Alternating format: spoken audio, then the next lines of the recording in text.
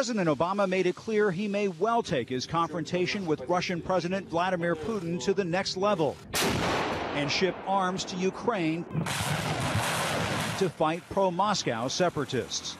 What I've asked my team to do is to look at all options.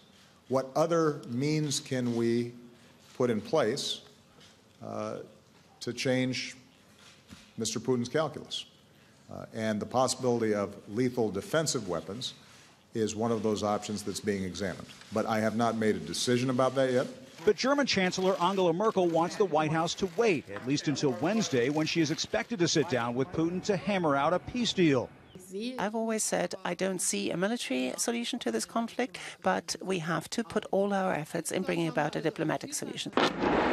With Russia already accused of violating past agreements and sanctions having little effect on Putin, the Obama administration is dropping plenty of hints. Too many times President Putin has promised peace and delivered tanks, troops, and weapons.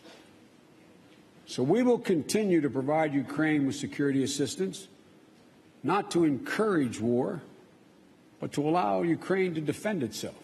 Even the president's nominee for defense secretary is open to more weapons. I very much incline in that direction, um, uh, uh, Mr. Chairman, because I think we need to support the Ukrainians in defending themselves.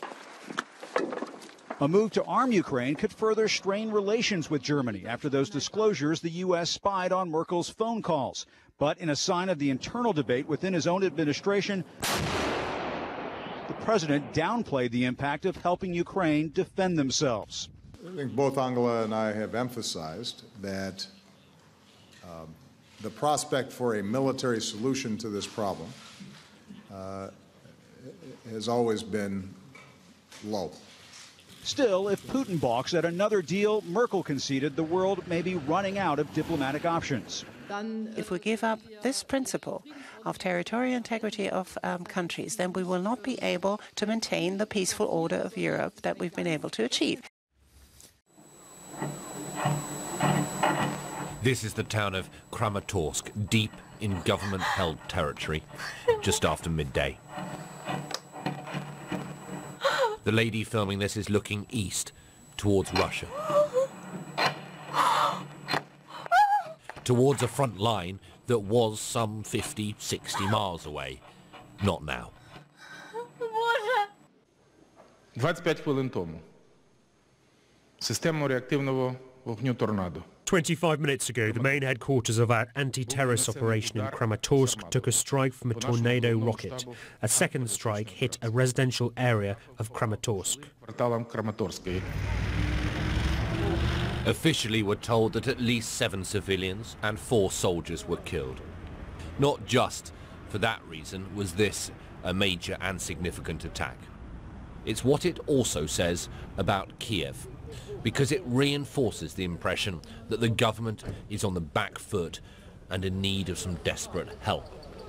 But the UK isn't at the moment planning on arming the Ukrainian military, but the Foreign Secretary, speaking in London, hasn't completely ruled it out. Different members of the alliance take nuanced positions on this question and are entitled to do so. However, we share a clear understanding that while there is no military solution to this conflict, we could not allow the Ukrainian armed forces to collapse. Tomorrow, the leaders of Russia, Ukraine, Germany and France, the so-called Normandy Group, will meet in the Belarusian capital Minsk to talk about a peace deal. They will discuss a demilitarized zone and the withdrawal of heavy weapons from the area. On the eve of the summit, though, the attack on Kramatorsk has made Kiev's position look weak.